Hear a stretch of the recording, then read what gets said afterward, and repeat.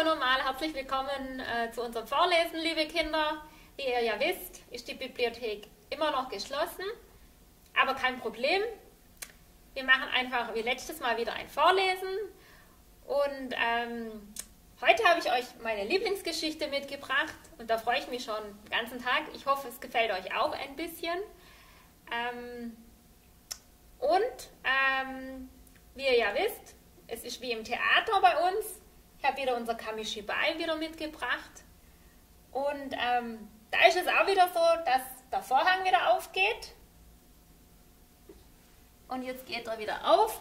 Und wir lesen heute die Geschichte Der schaurige Schusch von Charlotte Habersack.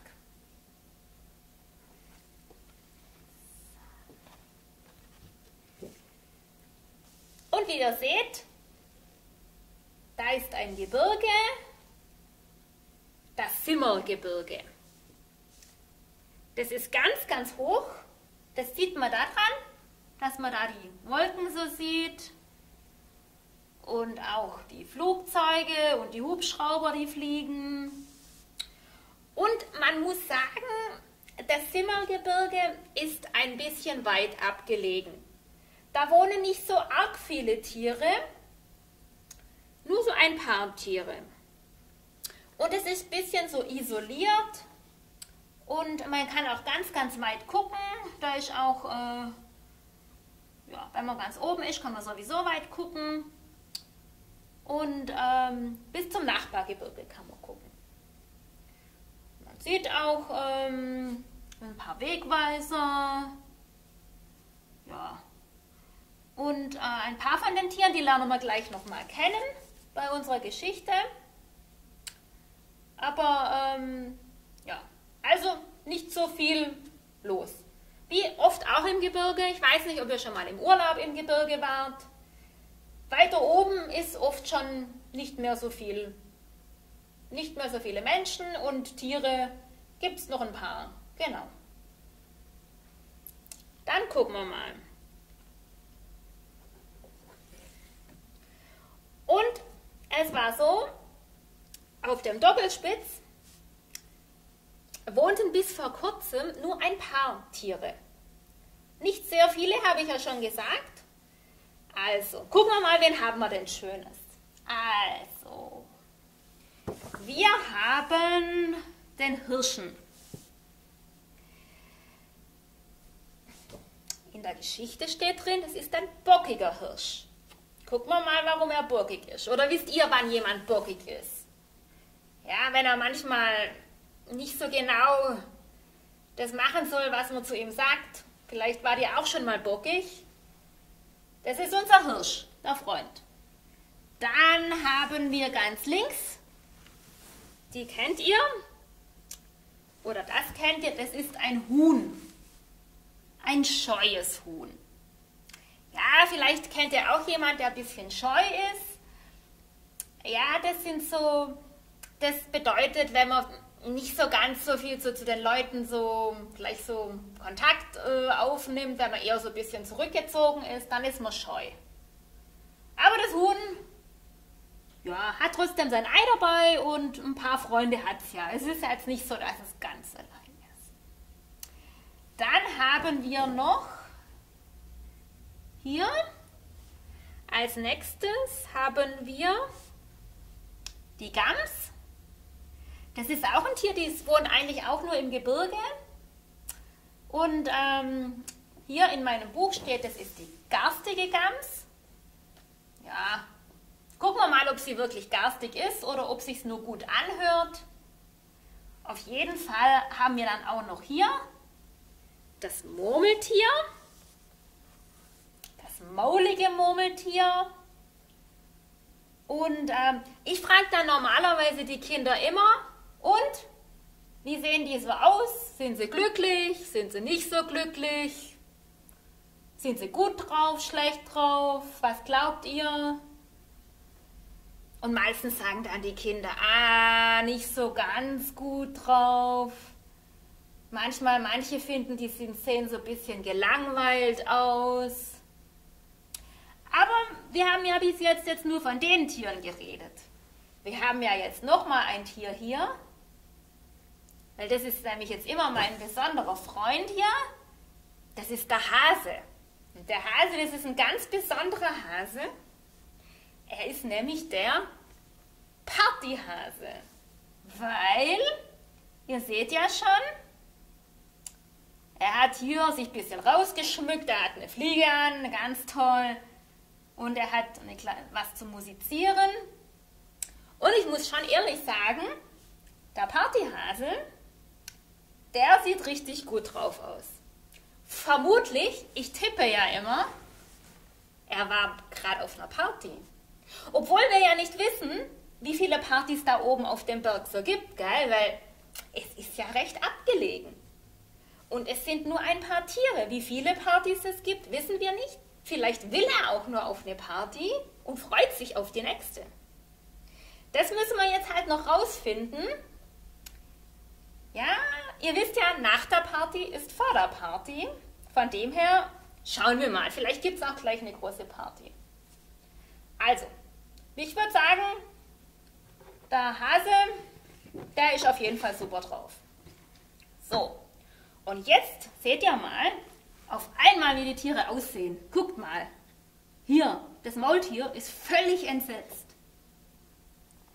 Die Tiere sind auch etwas, wenn man so die Gesichter anguckt, oh je, es sieht so aus, sie machen sich Sorgen, die fragen sich Sachen, die, das Huhn ist so ganz, oh Gott, überlegt und, und das hat auch einen Grund. Wisst ihr, warum die Tiere sich gerade so aufregen und warum sie so, so irritiert sind? Das ist, weil die haben eine Neuigkeit bekommen. Und zwar, die haben Folgendes gehört. Bald wird der Schusch zu ihnen hochziehen. Zu ihnen, auf das Gebirge ganz weit oben, wo es nur ein paar Tiere gibt. Und weil weiter unten, da hat es ihm nicht mehr so gefallen, jetzt hat es der Schusch einfach beschlossen, so, jetzt ziehe ich auf das Gebirge hoch. Und die Tiere, die waren völlig aufgeregt. Schaut mal, wie aufgeregt die sind. Hier, das Murmeltier. Und, und, ja, vor allem auch das Huhn. Gut, der Hirsch, der sieht jetzt nicht so ganz aus, aber auch die Gams. Ja, die sind wirklich ähm, völlig in Aufregung. Sie hatten den Schusch noch nie gesehen, aber es war ihnen ganz, ganz klar, wie der Schusch aussieht. Es war ihnen absolut klar. Ich habe gehört, dass er so groß ist wie ein Cola-Automat, jammerte das Murmeltier. Und so zottelig wie eine Zahnbürste, meckerte die Gams. Außerdem stinkt er nach nassem Hund. So, also alles klar für die Tiere? die stellen sich den Schuss jetzt vor. Und die denken nicht unbedingt, dass der Schusch wirklich nett ist und freundlich. Die stellen sich ihn schon etwas unsympathisch vor. Und hier, guck mal da hinten, da ist so ein Schatten. Und der Schatten, ich glaube, dass sich die Tiere den Schusch so vorstellen wie den Schatten.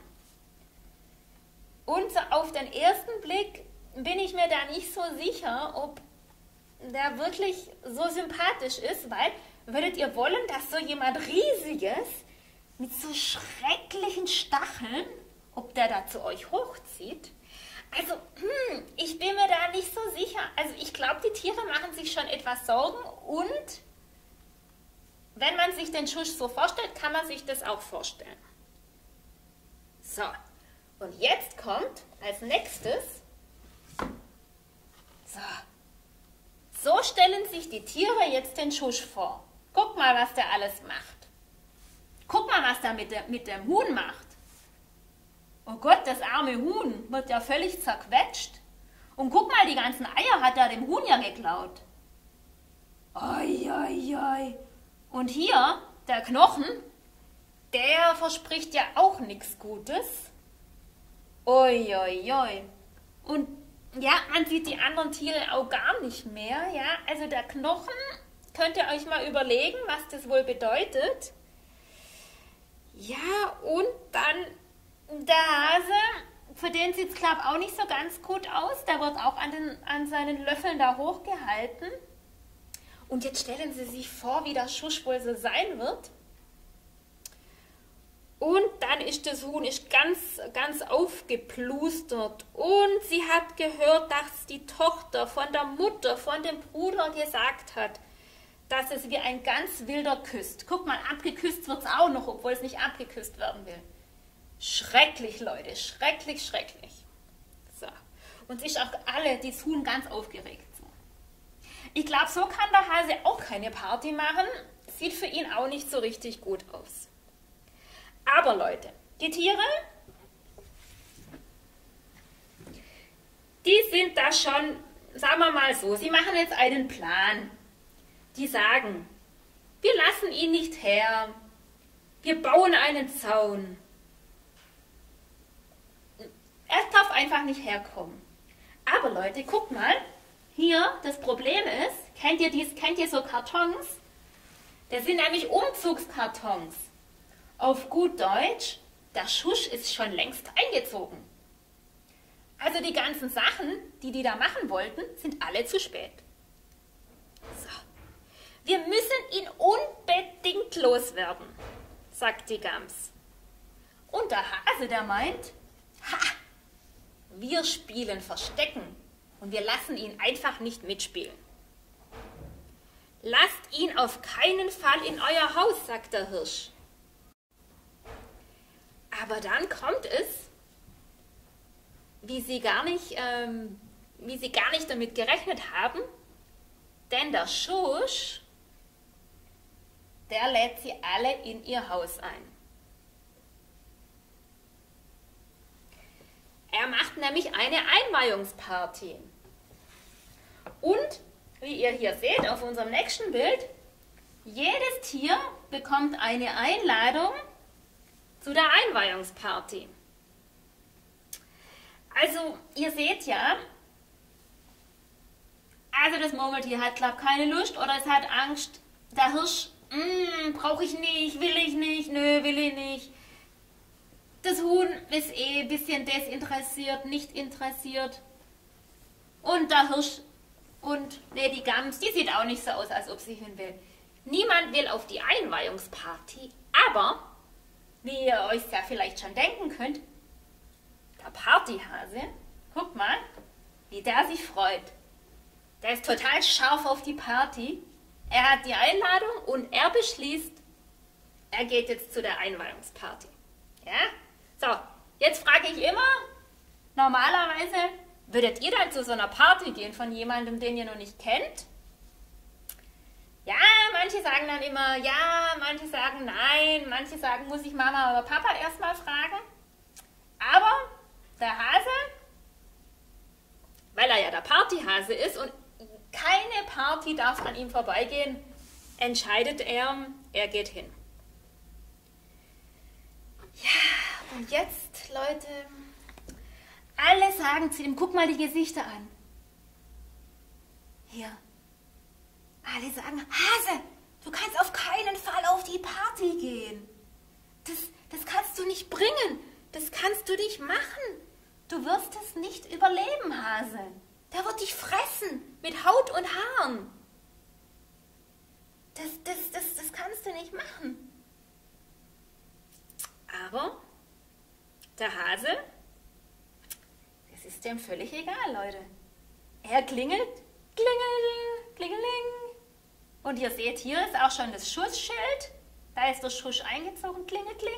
Hat sogar einen Blumenstrauß dabei, nett wie er ist. Macht man manchmal, wenn man jemanden besucht. Ja, auf jeden Fall. Ihr seht, es ist schon dunkel, der Abend ist fortgeschritten. So. Und die Tür geht auf und der Hase geht rein. So. Und was passiert jetzt? Guckt mal, der Himmel ist hier hell, hellblau und im nächsten sieht man, der Himmel ist dunkelblau, es ist ganz spät Nacht, es ist viel Zeit vergangen. Die anderen Tiere, die verstecken sich ja, und warten. Hoch hoffen, der Hase kommt wieder aus dem Haus raus. Ja, sie machen sich große, große, große Sorgen. Man sieht auch die Gesichter, wie sie bibbern, wie sie Angst haben, denken, oh Gott, der arme Hase, was wird wohl mit ihm sein? Ja? Ja, Leute, und ich muss euch sagen, sie warten. Sie warten eine Stunde. Sie warten zwei Stunden. Sie warten drei Stunden. Ja, so richtig beruhigt waren sie nach den drei Stunden dann nicht. Und als der Hase nach vier langen, schrecklich langen Stunden noch nicht gekommen ist, waren sie sich einig. Vermutlich hat es Hasenbraten zur Einweihungsparty gegeben. Ja. Und dann überlegen sie, oh Gott, was machen wir? Wir müssen den Hasen doch retten. In dem Moment, wo sie beschließen, sie stürmen, sie, sie wollen rein, sie brechen die Tür auf. In dem Moment geht die Tür auf und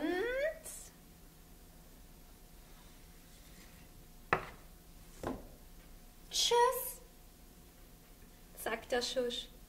Danke für den netten Abend. Er stellt sich auf die Zehenspitzen, um den Hasen besser umarmen zu können. So Leute, das ist jetzt immer mein, Lieblingspunkt an meiner Geschichte. Der Schusch ist nämlich gar kein so gruseliges, stachliges Ding, wie alle gedacht haben. Das ist der Schusch. Und wie sieht der Schusch aus? Ist er nicht süß und putzig? Und sieht er nicht wirklich nett aus? Und übrigens, der Hase, der sieht so aus, als ob er richtig Spaß gehabt hätte. Guck mal, da haben sie Girlanden und eine richtig schöne Party gemacht. Ja. Also, der Schusch ist ein kleines rosa Schweinchen, würde ich sagen. Und ich glaube, die haben sich jetzt richtig schon angefreundet. Aber guck mal, wenn man mal nach draußen guckt, guck mal, wie es da aussieht. Da sind auch Schatten. Und der Schusch, auf einmal sieht er die ganzen Augen, die da draußen stehen. Ja? Und er weiß natürlich nicht, dass, Schusch, dass das die anderen Tiere sind. Er sieht nur diese Augen und diese, diese Umrisse. Gruselig. Und vor Angst quietscht es ganz laut und springt dem Partyhasen auf die Arme. Und der Hase lacht. Keine Angst. Das sind doch, sind doch nur meine Freunde. Also wie ihr seht, nicht nur die anderen haben Angst gehabt vor dem Schusch, auch der Schusch, als er die Umrisse sieht und die Augen, der hat auch ganz schrecklich Angst gehabt. So, aber jetzt wollen wir ja mal gucken. Moment, Geht es da gerade nicht? Jetzt. Also der Hase winkt auf jeden Fall die Freunde mal her und sagt, ähm, dass der Schusch die mal besser sehen kann. Aber auch, dass die Freunde den Schusch sehen können. Das können sie sich beide nämlich sehen. Waren ganz, ganz zufrieden und erleichtert und, und hatten auf einmal auch gar keine Angst mehr, weil sie konnten ja jetzt mal sehen, wie die anderen so sind. Und jetzt sagt das Murmeltier, wir dachten, du bist groß und riesig und zottelig und wisst ihr noch, wie am Anfang, wie die gedacht haben, dass der Schusch ist, dass er so ein riesiges Tier ist mit so, mit so, so stachligen äh, Zotteln und so völlig äh, unfreundlich. Und wir dachten, du riechst nach Hund, hat die Gams gesagt. Wir dachten, du, du klaust Eier, wir dachten, du isst Hasenbraten dachten, du küsst wie ein Wilder, sagte das Huhn. Ja, und der Schusch, der lacht nur. Aber nein, so ein Quatsch. Es stimmt alles nicht. Obwohl, eine Sache, die stimmt doch, sagte, sagt der Schusch. Was denn? fragen die anderen. Ich küsse wie ein Wilder, sagt der Schusch. Und das, die Huhn kriegt natürlich sofort wieder Angst. Ihr wisst ja noch, wie am Anfang, wie das Huhn gedacht hat, ähm, dass der Schusch es gleich abküsst, dass es dann gar nicht mehr weg kann. So, ihr Lieben, Jetzt guck mal, das Ende von der Geschichte. Guck mal, was sie für eine tolle Party miteinander haben und wie sie alle viel Spaß haben.